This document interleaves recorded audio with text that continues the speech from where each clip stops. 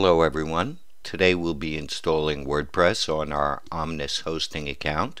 As you can see, we've already opened the welcome email and we'll begin by clicking on the link for the account manager.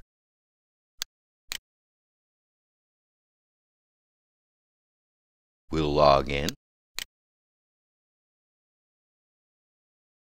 And here you can see the Omnis account manager we'll go down to the website section and click on the icon for install popular scripts. We'll click the select button. We'll go to the blog section and under WordPress we'll click on install.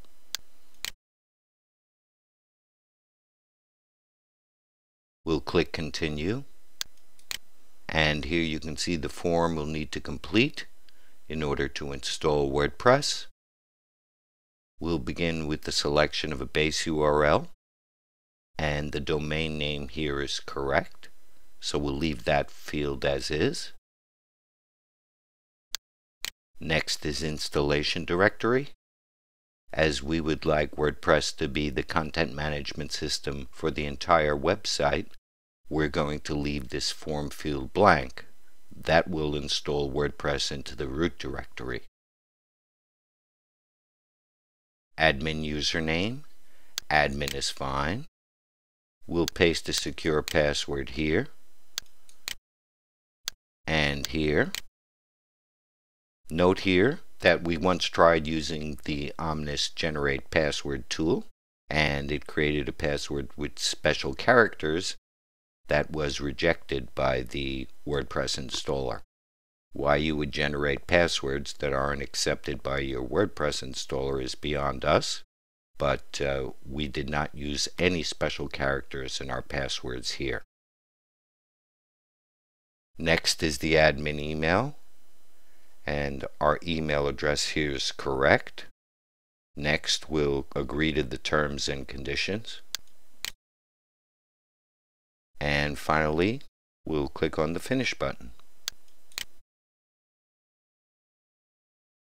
The message tells us that our script installation has been added to the queue and the system will notify us via email when the WordPress installation has been completed.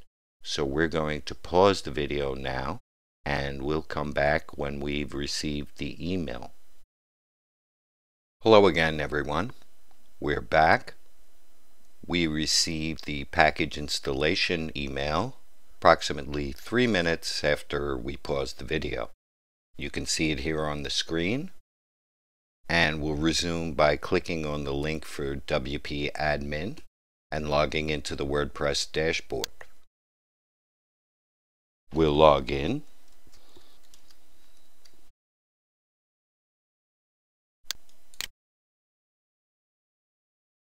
and here you can see our new WordPress dashboard. From this screen we can control all aspects of our WordPress site. To create a new post we simply go to plus, new, post, add a title for our post here, add our content here, and click the publish button. But we won't be creating a new post today we're simply going to visit our new WordPress site by using the Visit Site link at the top of the dashboard. And here you can see our new WordPress blog.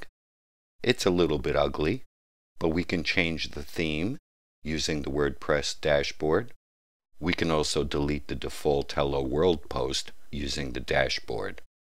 I'd like to thank you for watching this video and invite you to visit NCM Online for web hosting reviews, coupon codes, and more.